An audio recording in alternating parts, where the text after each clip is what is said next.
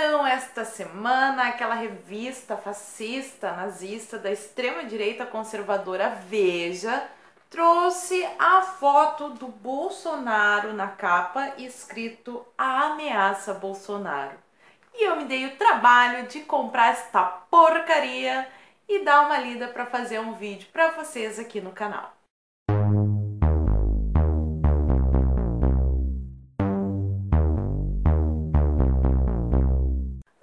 Entrar no assunto do vídeo, eu só quero lembrar para vocês que quem quiser comprar o livro que eu tenho aqui no meu cenário, é só entrar no link que eu deixo na caixa de informações e comprando por esse link vocês estão ajudando o meu canal.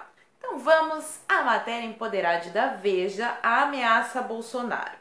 Com ideias extremistas e discurso insultuoso, já começa bem.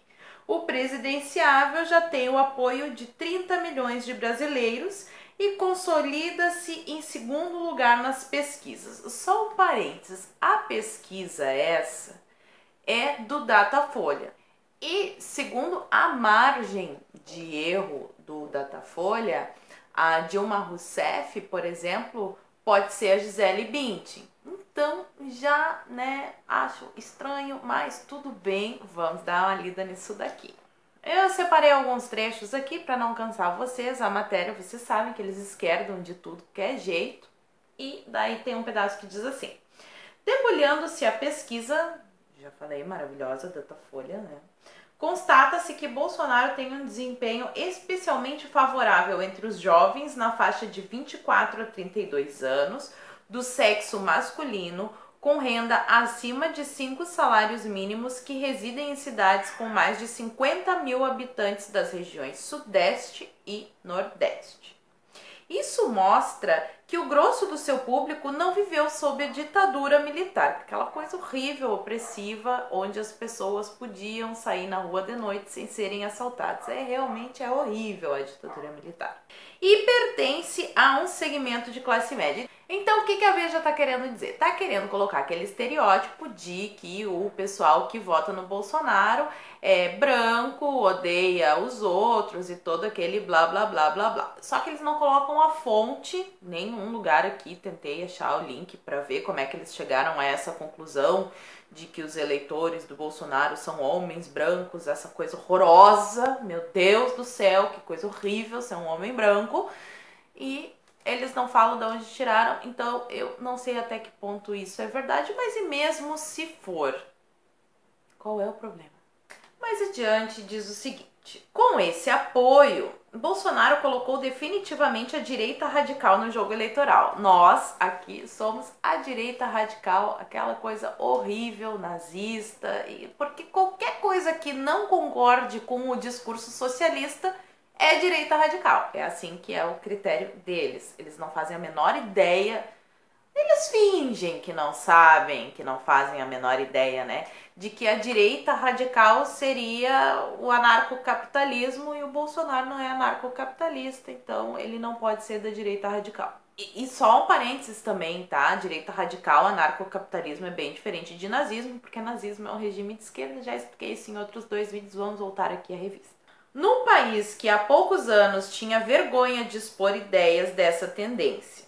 Eu sempre fui de direita mesmo quando isso era crime. Orgulha-se, como isso fosse uma coisa horrível. Esse pessoal da esquerda fala que eles querem um debate de ideias, o pluralismo de ideias, todas essas coisas, a democracia e tal, mas se tu tiver um milímetro de discordância com eles, automaticamente tu é fascista da direita radical e é um crime dizer tudo que tu diz, porque tudo que tu disser é discurso de ódio. É assim que funciona. Vamos adiante.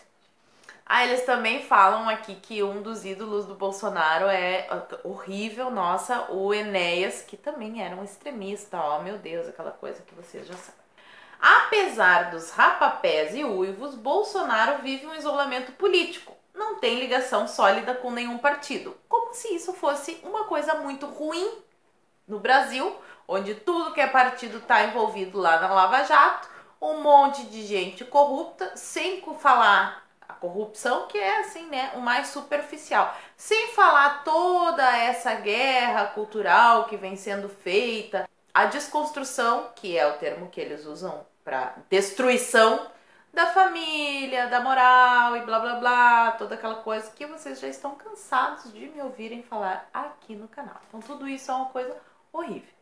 Não ter partido é horrível porque o Brasil tem só partidos maravilhosos. Só uma maravilha. Aí tem mais um trechinho aqui que diz que Bolsonaro não oferece a seus eleitores um conjunto concatenado de ideias.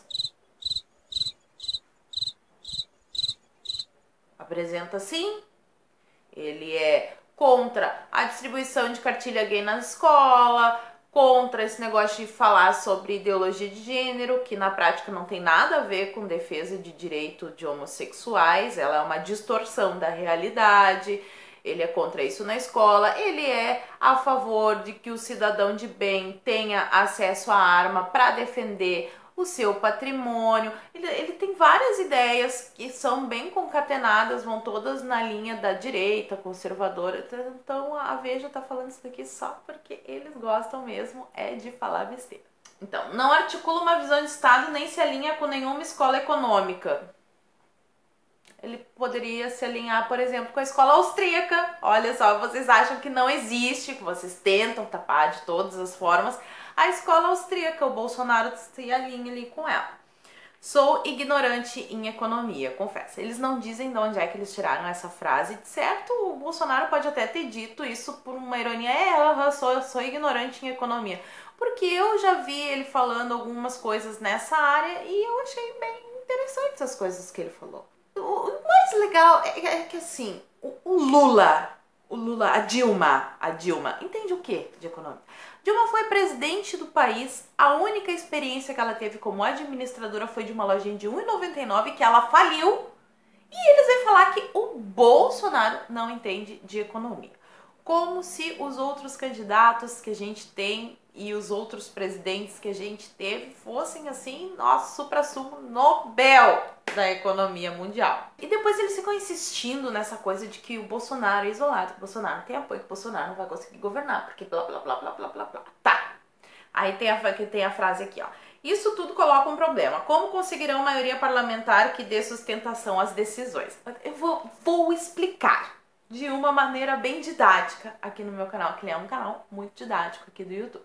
É assim: as pessoas que vão votar no Bolsonaro, elas vão ter que escolher também deputados, senadores. Olha que interessante. A gente vota para presidente, deputado, para senador. É muito simples. Para que o Bolsonaro consiga apoio, as pessoas que vão votar no Bolsonaro tem também que votar em deputados e senadores que apoiem o Bolsonaro. Se os que estão lá hoje não apoiam, é muito bom que daí já dá uma renovada que tá precisando. Olha que solução muito simples que eu arrumei. A Veja não conseguiu pensar nisso, porque é,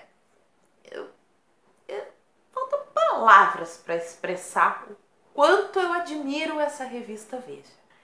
E mais adiante, eles querem colocar assim: o Bolsonaro, se o Bolsonaro for eleito, ele vai virar um ditador. Olha esse trecho. Bolsonaro pode tentar apelar diretamente ao povo por cima das instituições de mediação democrática. Olha só, vamos ver se vocês conseguiram entender. O Bolsonaro pode tentar apelar para o povo, ao invés de apelar para as instituições de mediação democrática. Democracia não é a voz do povo. Você vai apelar para o povo, porque o povo quer. Ele não está sendo democrático?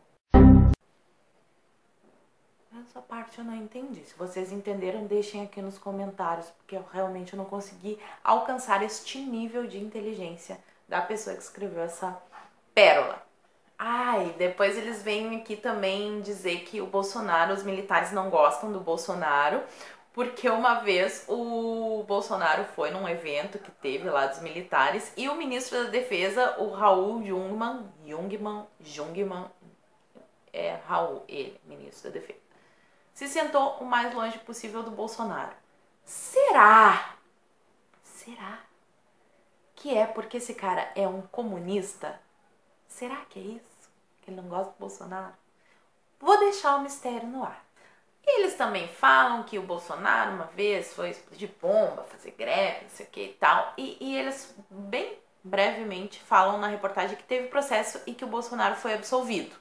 Porque isso não importa que ele foi absolvido, o que importa é eles fazerem aquela uh, propaganda negativa da imagem do Bolsonaro.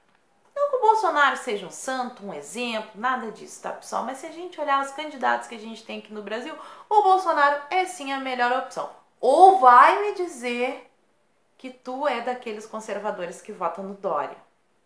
Conservador, só que não, né? Ah, depois eles falam aqui que o, o, um dos ídolos do Bolsonaro é o Ustra e que o Ustra era um torturador. E daí tem o trecho que eles falam da Dilma que eu até falei aqui. O Bolsonaro, ao mencioná-lo, queria apenas ofender os adversários políticos, sobretudo a própria presidente Dilma, que sofreu o suplício da tortura durante a ditadura. Eles não mencionaram, claro que foi um esquecimento, que a nossa querida, amada ex-presidenta participou de organizações terroristas que assaltavam bancos e explodiam os lugares, matavam as pessoas. Matavam as pessoas com bomba, tiro e essas coisas aí. E quanto à tortura, o que eu acho mais interessante, eu não sei se ela foi, se ela não foi torturada, mas quando a gente vê assim pessoas que passaram por uma tortura, geralmente elas têm uma aparência um pouco mais sofrida que a da presidente, não é verdade? Então, eu não sei até que ponto é verdade que a Dilma foi torturada e também a gente tem que ver os dois lados da história, porque a Dilma não era uma santa, ela participava de uma organização terrorista. E eu acho legal que eles se contradizem no próprio artigo, porque daí eles falam que o Bolsonaro só vai a lugares onde ele é convidado e tal. Aí depois diz aqui: os convites costumam partir de deputados estaduais e federais e empresários locais. Agora eu te pergunto: na página anterior eles não estavam dizendo que ninguém apoiava o Bolsonaro? Se ninguém apoia o Bolsonaro, como é que os deputados estaduais e federais e os empresários estão convidando o Bolsonaro para participar de eventos? Estranho, né? E daí, casualmente, sobre a reportagem era só isso mesmo que eu queria destacar, mas é uma coisa assim que eu achei bem interessante é que nessa mesma edição é uma edição especial, tá? É uma edição de com 28 páginas dedicadas ao especial de 100 anos da Revolução Russa. Sério, olha só. 100 anos da Revolução Russa. Então, a Veja faz uma edição especial falar sobre a Revolução Russa, só imagino, coisa mais linda que deve ter. E o Bolsonaro é uma ameaça. Então, meu amigo, se você ainda não conseguiu compreender que a mídia, toda a mídia é dominada pela esquerda, a gente não tem nenhum veículo na mídia grande, aberta e revistas, jornais, televisão que seja de direita, não tem nenhum. Se você ainda não conseguiu entender isso, tá difícil. Tá difícil mesmo.